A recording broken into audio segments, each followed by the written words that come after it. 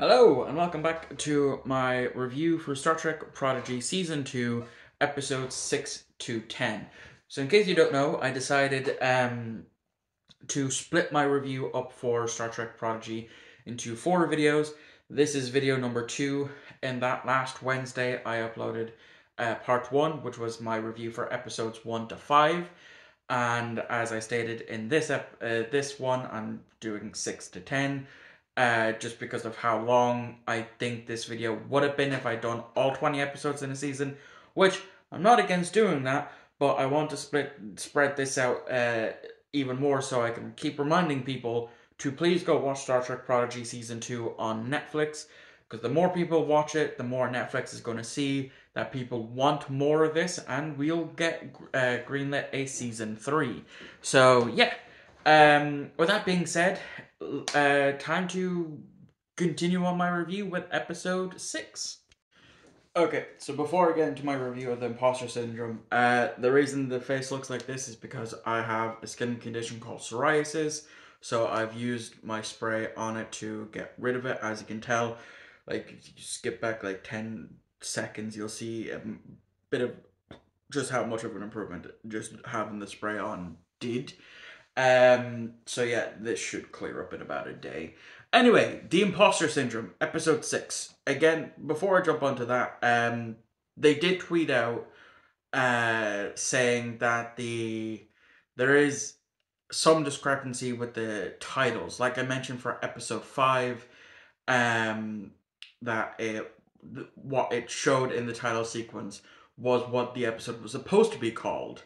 Um, so I don't know if that's going to give spoilers for what's coming next for me because as I'm watching it, they obviously still haven't updated, and one of the episodes is entitled "The Mirror Universe." Um, but in actual, I believe it's supposed to be called "Closed Mirrors" or something like that. Um, so yeah, don't know if that's a spoiler alert or not, but uh, for for that, but I'll find out when I get towards the end of the season. So yeah, imposter syndrome. What did I think of this episode? This one was definitely filler. This this was definitely filler. Served no real purpose, and I did not like it whatsoever. Um, so the episode is basically about they're going to. Uh, turns out they're going to destroy the Infinity uh, oh, due to orders of Starfleet, and all records are to be scrubbed clean. Um, because you know they're not supposed to have a cloaked ship with uh, due to the treaty with the Romulans. Um, and so uh, like the only known ship that at this point in time that had a cloak uh, might not even have it at this point post Dominion War is the Defiant. Um, and so if they get caught with that, you know, the Federation as is will be like in deep hot doo doo, considering that they're trying to relocate a bunch of Romulans at this point. Um, and so the uh, product, uh, the Protostar crew want to commandeer it to go to try to the uh this nebula that um that uh Gwyn saw at the end of last week last episode. I was about to say last week's episode, but no, last the end of last episode, and there's one planet that has gone missing, so they're thinking that's where Chakotay is, um, and so they decide to you know because they're obviously going to be noticed. Uh, if they've left, that they're going to create holograms. Except Rok um, makes them so well that they don't even know that they're not holograms. And hijinks ensue. You know, they're trying, they leave, they lock our, the actual people into the holodeck thinking that they're holograms and all this stuff. It's, like I said, it's filler. It's not all that important. Certain scenes are important, but it's, it wasn't great. I'm going to be honest. Uh, it, it's out of the six episodes that I watched, it's definitely the weakest um, and that's saying something with the for the opening two parter because you know I'm glad Dell has mellowed out since uh since the the the first two episodes, um, because uh, God, he was annoying. But yeah, uh, gotta go watch the next episode. Well, I'm gonna go get some lunch and then I'm gonna watch the next episode with with food. Um, and I'll be back uh, in a second for uh, to review episode seven. Okay, so I'm recording this as I literally just wrapped up uh, part one's review because I decided uh, last minute to split these up into four parts, and then I just literally uh, recorded the intro bit to this. So yeah, um, I have now watched episode seven and eight. So let's let's get started with episode seven, the Fast and the Curious, which is obviously a play on the movie franchise The Fast and the Furious which I think are the worst movies to have ever existed. Have I seen them? I think I've seen Too Fast, Too Furious, or Fast and the Furious Tokyo Drift. I've seen bits and pieces of one of them on VHS. Um, never my thing. I'm not a car guy. Um, but then again, art is subjective. If you love the Fast and Furious movie movies, more power to you. You know, um, it's like I say, I personally don't like Star Trek II The Wrath of Khan. I think it's a tad bit overrated. And you might love it. Uh, for me, the best Star Trek movie ever made is Star Trek First Contact. So yeah, uh, The Fast and the Curious. Um, well, it sees that it's going to take our Protostar crew 61 days to reach this, uh, where they're going to hopefully try and find Chakotay. Um, and uh, they decide to actually take a shortcut because the computer also tells them of this inactive Borg transwarp drive.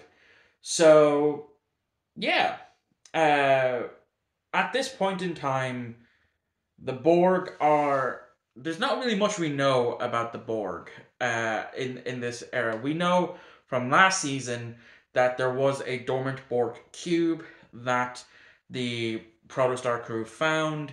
We do we do know from Star Trek Picard season one that there is um, the cube that uh, Hugh is on, as well as uh, Soji from Picard season one. We also know from Picard season three that there's a hidden Borg cube in Jupiter.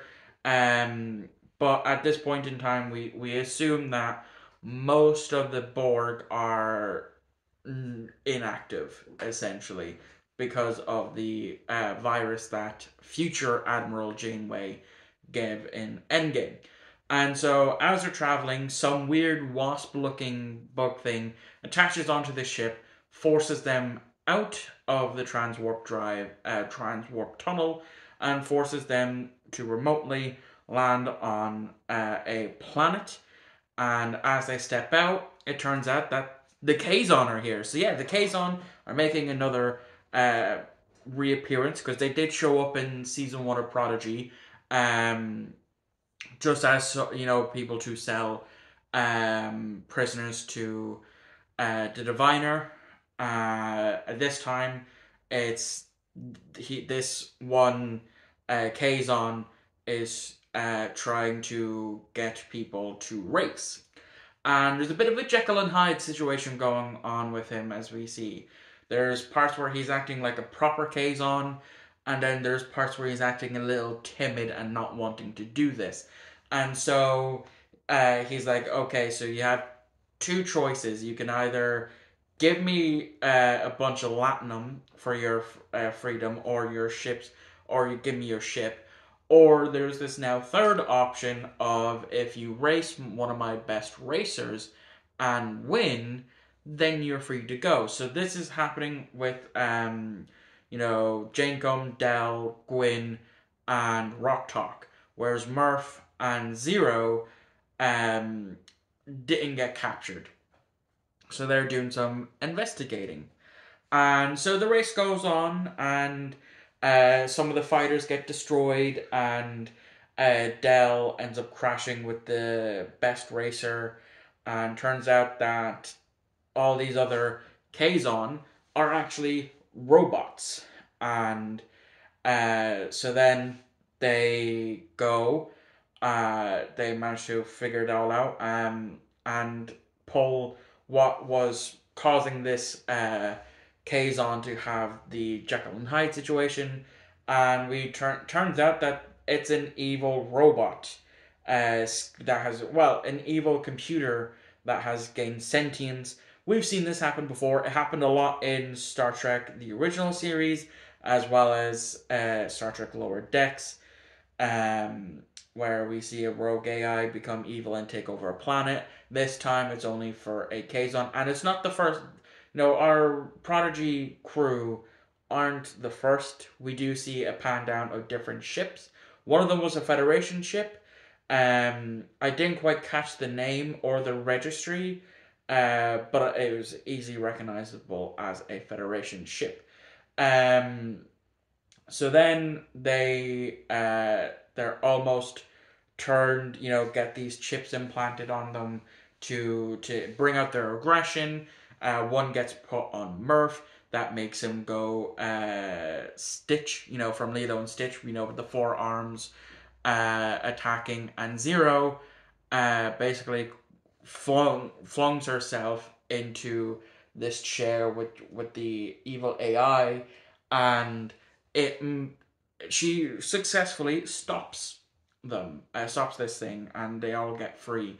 Uh, except now there's a bit of a caveat, and that caveat is Zero suit is damaged beyond repair, and because the Infinity doesn't have what's what's needed on a lot of parts to rebuild Zero, she is on or sorry they are unfortunately left uh, there in, in the damaged containment suit because you know they're a Medusan. Um, and as that's going on in back on Voyager A, they still don't know that uh, our Protostar crew have gone missing. Um, because one thing I forgot to mention, what happened at the end of episode six, is when they the um, the Hollows uh, reactivated all their personalities switched. Um, and so, yeah, they don't notice it. You know, we have a scene in the mess hall with Janeway, and Rok refers to coffee as dirt water, um, which greatly offends Janeway because, you know, there's two things you should know about Janeway. She doesn't take shit from no one, and she loves her coffee. I mean, she even, I she, she threatened fucking Neelix once. Uh, not necessarily threatened about coffee. You know, he he she comes in, she asks for coffee black. And he's like, oh, one of our we lost another replicator, but let me uh, get you this coffee supplement. She's like, nope, coffee black. Just get me coffee. You know, typical coffee drunker. Um, I agree with Rok-Tahk. I'm not a coffee fan. Uh, don't like the aftertaste. Um, but Morrell um, notices something off with Gwyn and goes to uh, goes to her quarters to talk to her. And in the split second of Gwyn going into her quarters, um, and Morrell and the entire crew starts to slow down as these weird tentacle little things um, go come you know go through the ship, go through to Gwyn's quarters and uh, disables the Hollow. And that ends that episode, episode 7, The Fast and the Curious. It was an alright episode, definitely intriguing to see what's going to happen as the season progresses, you know, with what uh, what is that tentacle thing, um, and what's going to happen to Zero. We do get an answer to that in the next episode, which I do love the title of this one. Is there in beauty no truth? Because again, like I said um, about a different episode, I wonder if it's in my notes here. Uh, um, yeah, Who Saves the Saviors? Feel that tied the title of Who Saves the Saviors and this one is there in Beauty No Truth feels like an original series episode title. And I love that. You know, I love the fact that we, we're getting that. Um so what is this episode about? Well, it's been a week since uh, the Fast and the Curious. Um, you know, Zero is still essentially trapped, and as they're going by this planet, Zero gets contacted by another Medusan, talking about how they can fix Zero, uh, give Zero a new body. And so everyone but Dell is all for going to this planet because Zero literally sacrificed everything to save them in last week's episode and has done so multiple times, uh, which is why Zero is one of my favorite characters in the whole Prodigy. Um, for me, it goes Zero, Rok-Tahk, Gwyn, um, Murf, Jacob and Pog, and Del is down to the very, very rock bottom. Um, but you know, he has definitely mellowed. Like I said, he's mellowed out since the first two episodes. Thank Christ for that one. Um, but anyway, yeah. So they go to this planet, and it turns out that these other non-corporeal beings now have their own bodies, and so Zero ha- um, you know, has to agree to uh, get her their own body, and so she she does, and so she she gets to experience things, you know, touch, feel, hunger, um, you know, all these things that uh, in as a Medusan normally can't experience as a non-corporeal being. But there were things that were left out, and that being uh, this festival that they're doing uh, is to make them experience these um, bodies experience fear that if they make it to the other side, they'll usually not want to leave. Because if they leave the planet, their bodies start to deteriorate, which I knew straight away because again, this is, this is something that has been done previously. So that's what happens. You know, once you know Dell and Gwyn figure this out, they try to warn um, Zero, uh, eventually catch up, and inform Zero. excuse me, and um, eventually they decide to leave. Uh, so that's that portion of the episode, and the next portion of the episode, uh, the B plot essentially, which is very very quick, um, is we see the Hollow Prodigy crew uh, in a game against the um, the uh, Nova Squad, um, and they eventually figure out, thanks to the doctor, that he's the one who implanted the uh, idea to create other hollows, and so they, you know, tell the ship to turn off any other hollow that isn't the EMH. They all disappear except for Gwyn's hollow. Gwyn's hollow hasn't been seen uh, in two or three days, and so they reconstruct the hollow. Uh, essentially, wake her up. They inform her that we know all uh, what's go- most of what's going on, and so she starts talking about these that the time has stopped because, but from the moment of Gwyn going into her room and Morel going up to the room, there was eight minutes lost of recorded time. Um, and so there's definitely something afoot, and that's where the episode ends. So again, I love the title. It was a good episode. I enjoyed it. Um, so episodes nine and ten is going to be a two-parter. Um, so yeah, that basically so far, you know, the Fast and the Curious uh, it is okay. Episode six, um, not the greatest, uh, in my personal opinion. Uh, but I'm looking forward to to watching episodes nine and ten, another two parter, which had things gone the way they did, I think this would have been a mid series. I think this is the mid season finale. You know, if it were to be split up like season one was uh, where we got 10 episode blocks and uh, 10 first 10 episode block and then we got then later on we would have gotten a second ep- 10 episode block uh, overall i'm enjoying this season i'm curious to see how things go so yeah i'm gonna go watch uh, the next two episodes and uh, then i'll be back in a second to review them so episodes 9 and 10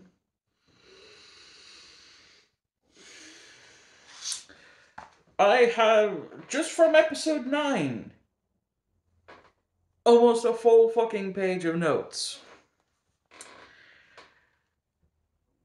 So let's begin. So the episode opens with our prodigy crew making it to the location of where they need to be, and they realize that there should be a planet there, so they pull it out of phase, and then they land and they go exploring, thinking that you know this is where Chakotay is. Um, then they see a door from the 20th century, and that should have been my tip off, but it wasn't. Um, and a someone ends up coming out of that door, and it's fucking Wesley Crusher. I was not expecting this. I was not expecting another return of Wesley Crusher to Star Trek. So that is his technically fourth time returning to Star Trek because he was in the opening scene of Nemesis and he did have a speaking role, but that was cut. We then, of course, see him in the season finale of Star Trek Picard Season 2. And then he reprised his role again for a quick voice cameo in Star Trek Lower Deck Season 4. And now he's back for these two episodes.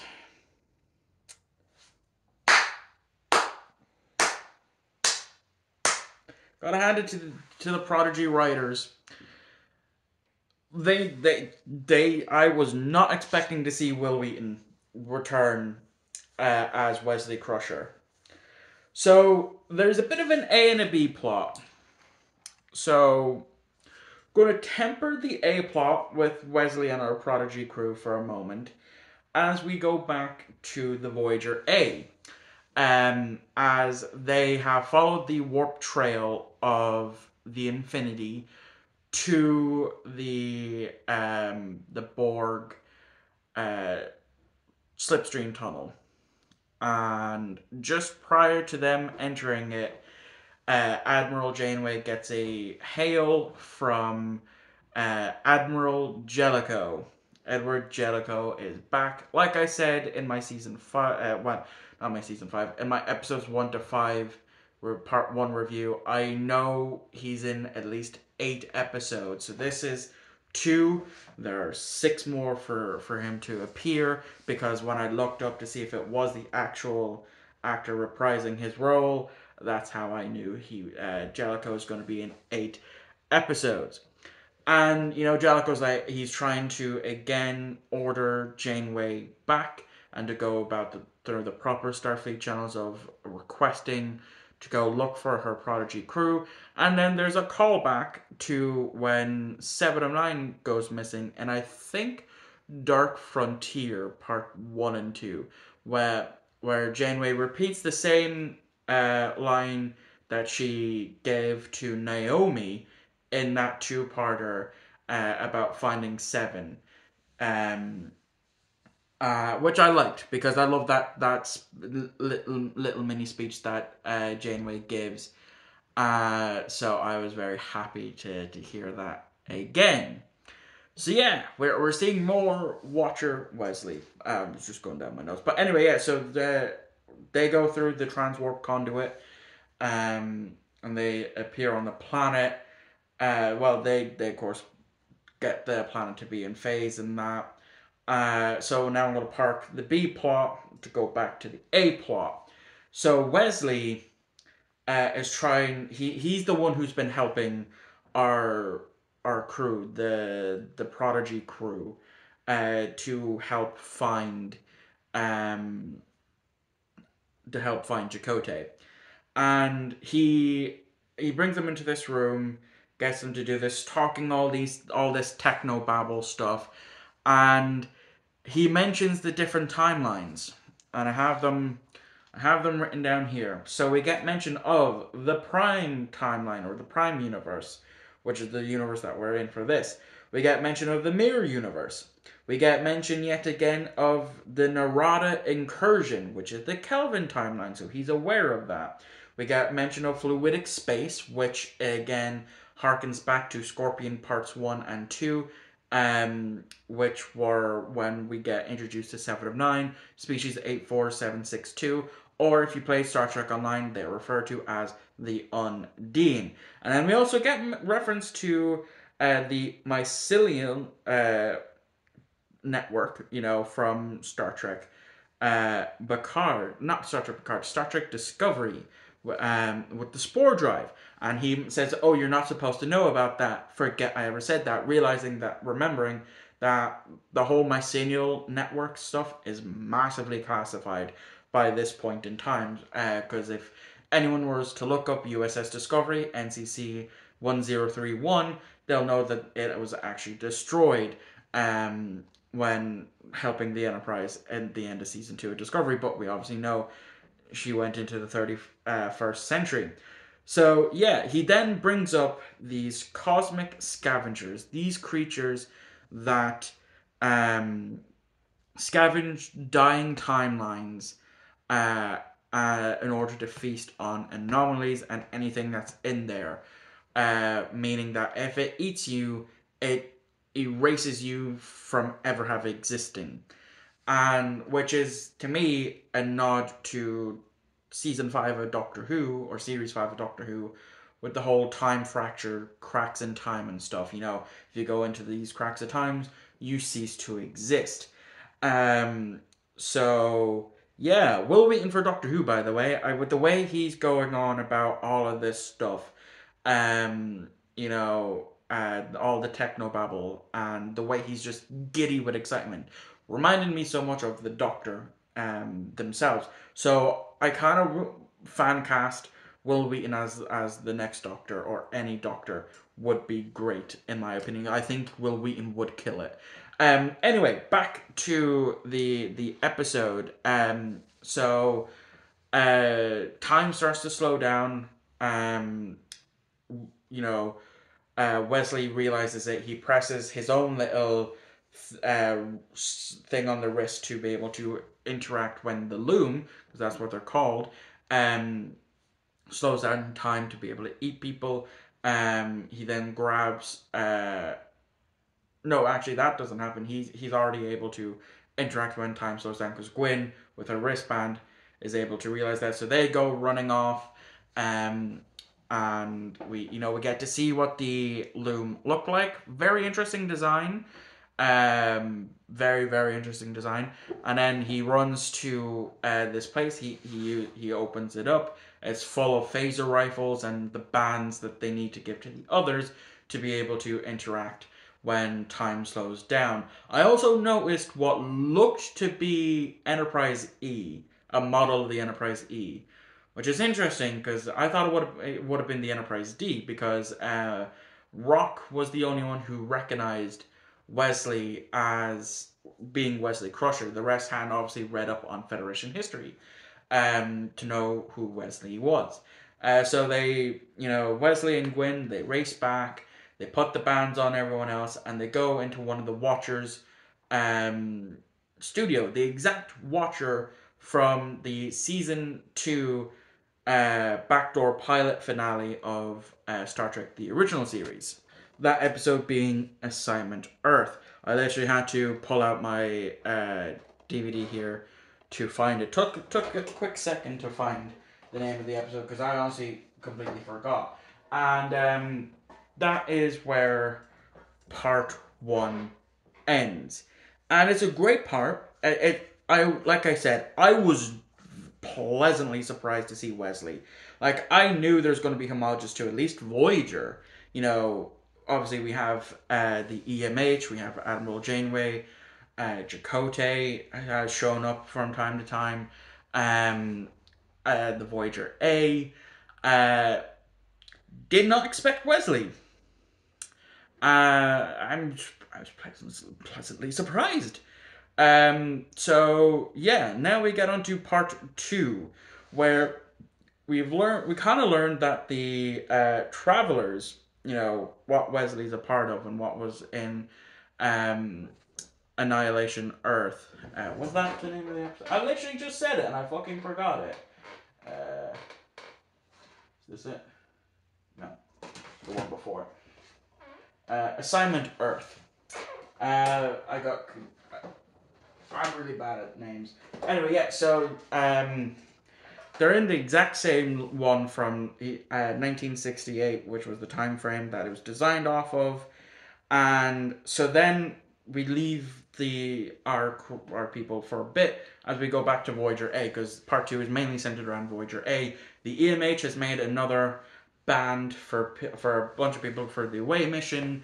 Uh, three people go down: Tyrus, uh, the first officer, uh, Maj'el, the Vulcan, um, uh, Nova Squad member, and just a random person. And because mo- uh, most people up on Voyager don't have the the bands, uh, they forget about the random red shirt that gets eaten because you know uh, this is where Wesley explains that if you get caught by these things, they will erase you from all the time and space, and we see that happen. And so by time uh, the first officer uh, beams up because Maj'el actually, whilst mid beam, takes off her comm badge and throws it um, to go and find Zero because that's the only reason why she's on this away mission because she's uh, psychically linked to Zero.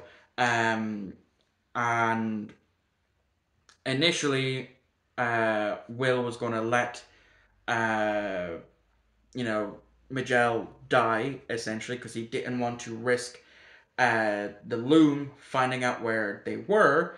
Um, but that is when Dal says no. We're uh, you might not want to save her, but I'm going to save her, and so he brings her in. Uh, and at that point, they all leave because the loom is starting to descend onto the place, and they run out. The loom have disintegrated uh, the ship that they were on uh, entirely, uh, removed it from time. And just as they got out, we see the Voyager A in Earth's atmosphere firing on these on the loom. The loom goes up onto the uh, onto Voyager, uh, starts to disintegrate a bunch of people, um, a bunch of nobodies that we don't really know the name of. But of course, it's the crew. Uh, Janeway always cares about her crew. Doesn't matter who uh, or what you are. If you're part of her crew, she will literally do everything in her power to save you. Um, and so a whole bunch of running around. Janeway ends up on a shuttle.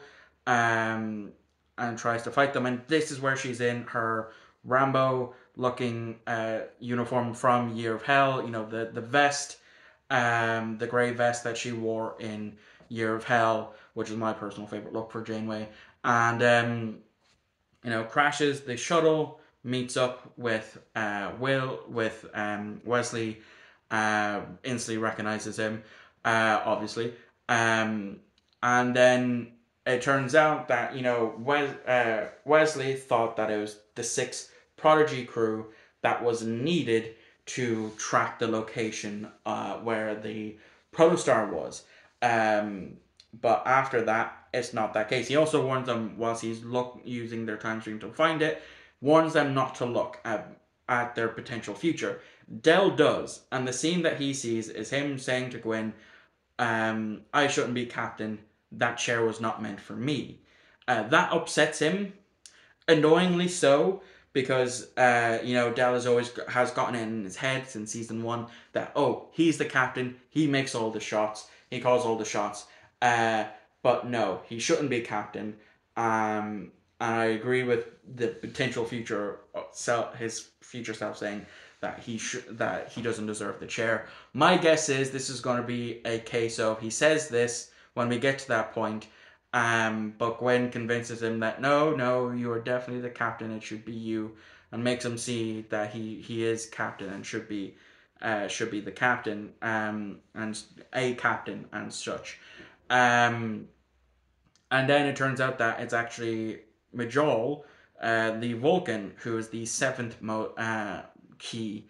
So it has to be all seven of them to go and they enter into the portal and the um, Wesley sends uh, Janeway back up on to uh, Voyager and it looks like he self-sacrifices himself to stop the loom and also destroy the essentially it looks like he destroyed the planet uh, but if I was a betting man uh, my guess is I'm uh, I'm looking at this in three dimensions, but I should be looking at this in four dimensions. That you know, since he is a traveler, um, there is, I think he survives.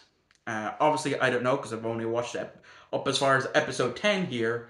Um, so I'm I'm sure as I go on watch the next ten episodes, uh, the second half of the season, I'll find out. Uh, but yeah, that is going to wrap this video up. That's another five episodes down. I've now reviewed episodes 1 to 10 in two parts. Uh, part 3, episodes 11 to 15, will be posted next Wednesday. Um, but I'll have already have seen it because uh, I'm I'm recording this actually on the second of July. Um, I'm more than likely going to watch another two or three episodes tonight, uh, and probably have this finished by sometime uh, Friday, uh, Thursday or Friday, um, the third or fifth, uh, the fourth or fifth of July. So I'll probably have already known, but because I'm I want to do this weekly to again, if you haven't watched Star Trek Prodigy yet, um, even though I just spoiled a whole bunch of uh, uh, important stuff, please do go watch it. It's on Netflix. Um, the more people that watch it, the more likely we are to get a season three. So please, please, please go watch Prodigy season two on Netflix. This is not sponsored. This is just me wanting one of my new favorite shows to continue. Uh, so yeah, that is going to wrap us up. Thank you all for watching. I hope you enjoyed, and I shall see you all on Friday uh, for a another classic Doctor Who review voted for by you. I'll see you all for that one.